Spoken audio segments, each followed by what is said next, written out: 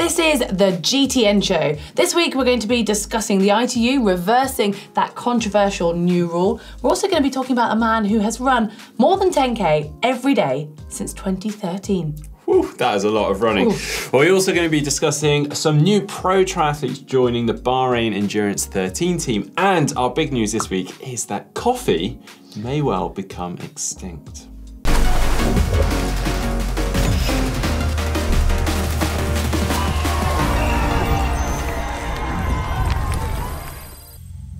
Right then, guys, before we get stuck into the show and the news, I thought we'd have a bit of fun. See, have you ever left any of your sports gear festering away in the car? Your swim stuff, your cycle stuff, your run stuff, maybe? I know people who have. Oh, okay. I mean, come on. I mean, you guys have never been in my car, have you? but yeah, it, it's pretty gross. And imagine what that feels like for our friends, our partners that are jumping in our car or just have to hang around with us wearing some of that kit. So, I was wondering whether you would recognise some of those smells Oh. if I was to say uh, blindfold you. So, uh, cap each, pull them down over your eyes, and let's play What is that smell?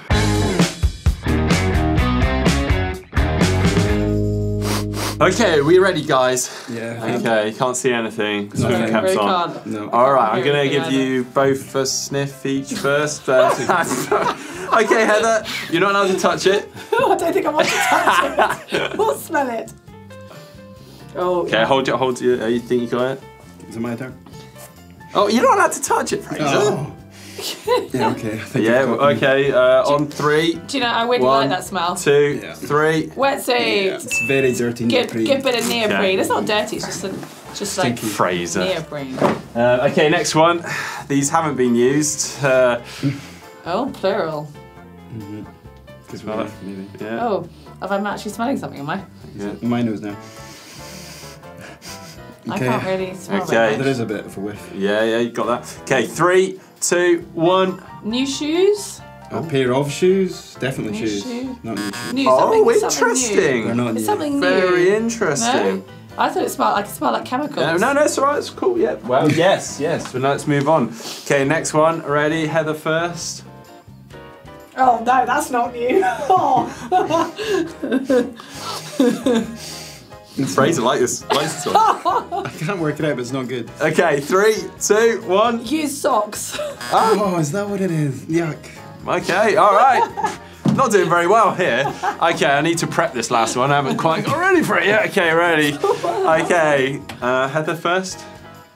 Ooh. Oh no. It's warm. It's about warm. I will get too close to this one, Fraser.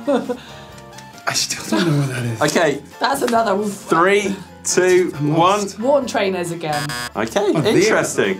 No, the other ones were trainers. Okay, caps off, guys. I'm really sorry about that last one. Oh. So it was socks last, and then we had trainers just before Oh, that. trunks. and swimming I was swimming not smelling your trunks. crotch. Hope not. Um, well, that is. What is that smell? Right, you wake up in the morning, and what is the first thing you do? Probably grab a coffee. yeah, pretty often. Yeah, I love my coffee.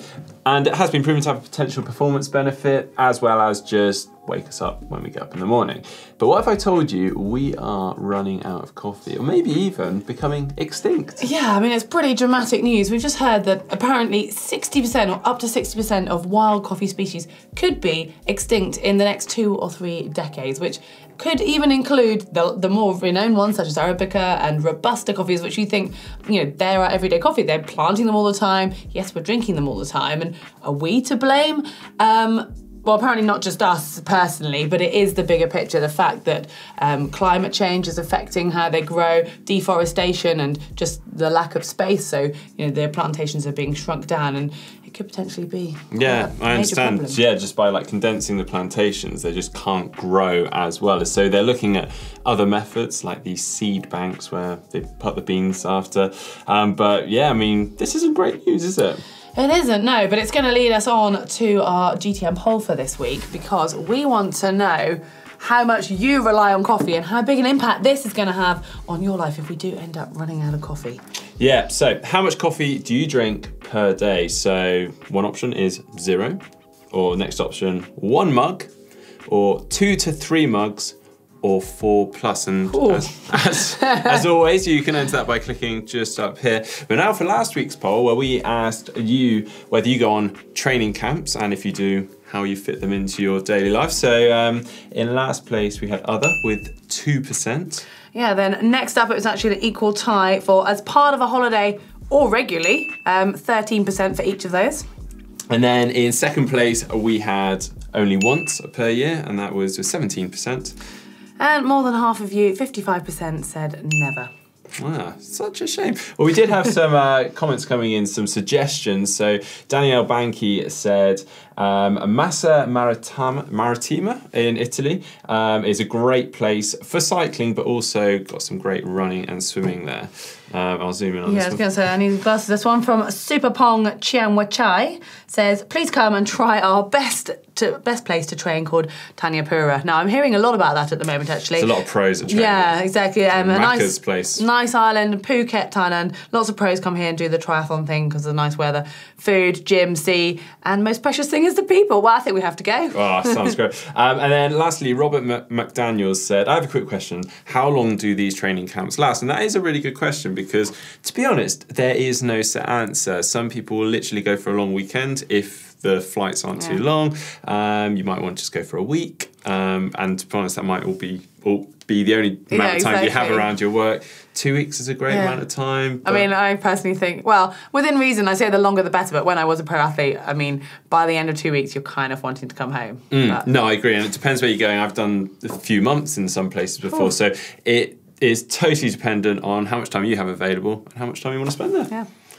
Sport can be pretty addictive. It's hard to beat that buzz that you get after a good training session that you've accomplished. But when you have to do it every single day, it's a slightly different matter. Can you imagine running every single day of the year, whatever the weather? It doesn't matter how tired you are, doesn't matter how much time you've got, you have to do that. Well, there is one man who has, and he's done it for 2,222 days. Yeah, very impressive. Now, this guy is called Jim Plunkett Cole and is better known as Jim Gump, which is obviously a nice little nod to old Forrest Gump. And he was inspired by the 2012 Olympic Games and basically set out on the 1st of January 2013 to run no less than 10 kilometers every single day for that year.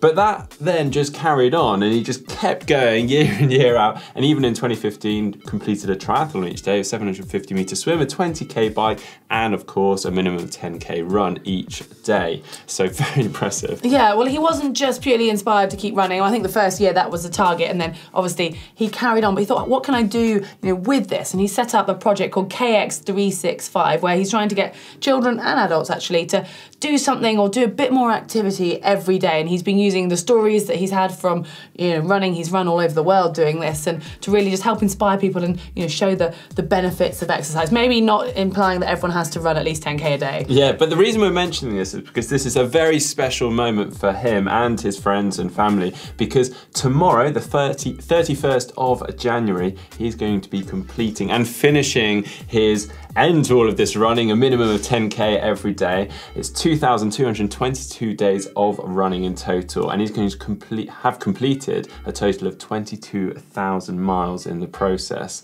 Um, and he's chosen to end it on the 31st January rather than the new year, simply because well, it rounded up really nicely. Otherwise, it'd been 2,192, which just doesn't sound as good, does it? It doesn't, no. Massive congratulations, and yeah, very inspiring story.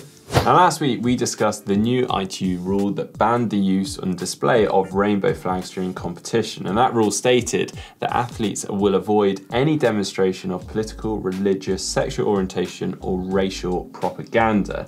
Now, it's this addition of that sexual orientation that really sparked quite some criticism within the media and also started some petitions. Well, the ITU have now announced that it was apparently a misunderstanding with this rule, and the rule was there to actually protect the athletes from people demonstrating against them. And there were some rumours as well that it might have been to do with the fact that the first WTS series was going to be in Abu Dhabi, but at the end of it, they've changed the rule and, well, reversed the rule and taken it out. Well, now for some sponsorship news, and it's the Bahrain Endurance 13 team that have just announced some new additions to their already very well established team. So we've obviously already got the likes of Jan Daniela Ryf, Terenzo Bozzone, Javier Gomez, Holly Lawrence, Ashleigh Gentle, Ben Kanute, um, and they are led by the team captain Sheikh Nasser Ben Hamad Al Khalifa. And I think I've included everyone that's still there. I, mean, Did you say Alistair Brownlee? I think so. Anyway, Okay. Alistair Brownlee. But yeah, um, but now they've got three new athletes to the team and quite some athletes as well because we've got the two-time ITU Grand Final winner Vincent Luis joining the team. Very interesting. Yeah. We've also got the two-time Ironman 70.3 Middle East champion and also 70.3 distance record holder, um, and that is Kristian Blummenfelt. I probably saw that one Yeah, coming, but so. very cool. And then finally, one I didn't see coming was the bronze medalist for the Commonwealth Games in the para triathlon, and that is Lauren Parker. Yeah, it's So great to see that they've kind of really broadened their range and having, including para athletes as well. And finally, one of the most wanted features on Zwift is now live. You can, within reason, choose which world you're going to ride in that day. Yeah, so whereas before you were basically told which course you are riding and you don't have a choice, you now can ride the Watopia course, which is basically the Zwift Island, and you can ride that on any day you like, as well as the secondary map of that day. So that will obviously be as an option to you, but if you want to, revert back to that Zwift Watopia course. So you basically got two options each day. You do, yes. So it, it still cycles through the other secondary map, but that Watopia course always available. Great. And yeah, this is a new update that is all being released across well, basically all platforms at the moment, if not already. Cool. It's now time for race news, and the season is really starting to get underway now. We saw Ironman 70.3 South Africa on the weekend. Now, the conditions weren't perfect, so much so that the swim actually got shortened to an 1100 metre course, but that did not deter Elliot Smales of Great Britain, who came out of the water first. Down in fifth, it was Bradley Weiss, 23 seconds back, but he soon made his move up through the field on the bike to take the lead and ended up coming into T2 with almost a two minute advantage over fellow South African Matt Trautman. And Trautman, though, soon closed that gap and actually by halfway through the run had almost caught up with Weiss, but I think he'd gone a little bit too hard too soon because Weiss opened up the gap again to take the overall win and it was second to Matt Trautman and making it a 1 2 3 for South Africa. It was James Cunnama in third. In the women's race, it was a battle between Amelia Watkinson and Emma Pallant. Amelia Watkinson had a 24 second advantage coming out of the water, and then by the end of the bike, she'd managed to extend that advantage a little bit more, having a minute's lead over Emma Pallant. But we know Emma is renowned for her running, and just 6k into the half marathon have pretty much closed that gap.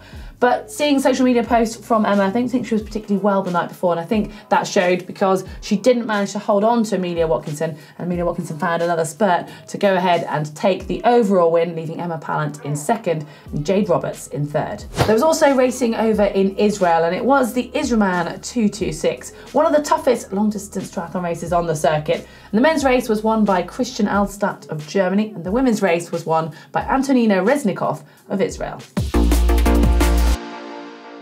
It's time for the caption competition, and we had this photo of Tim Don from last week. Lots of great suggestions. Now, Mark has selected these, and as a result, I think, Mark, you have to read out this first one, one of our runners up this week. Um, so Mikel Zabita, um, well, he made reference to Gollum, and obviously I've done a Gollum impression, impression recently, which really wasn't very good. So I, I really apologise for this. He says, "Must have the precious, sneaky little triathletes. They stole it from us, my precious." um, that's terrible. Really bad. Check out Lord of the. Rings if you wonder what on earth Mark's talking about. Uh, but Ian Povey uh, also said when the pros order from Wiggle. Now I need to explain this one because this is quite funny. Now Wiggle, for those that use it in, well, it's mostly European based, I think. Um, they always send a little Haribo package when, you, Yeah. but it's a tiny little Haribo package. Uh, Tim Don's obviously overdone, you know, gone over the top with this and got a massive, um, massive pack. So. Yeah, uh, but though our winner of this week's cap goes to Amos Noon. Congratulations, Amos, with the caption "Sweet Spot is Tim's favourite session."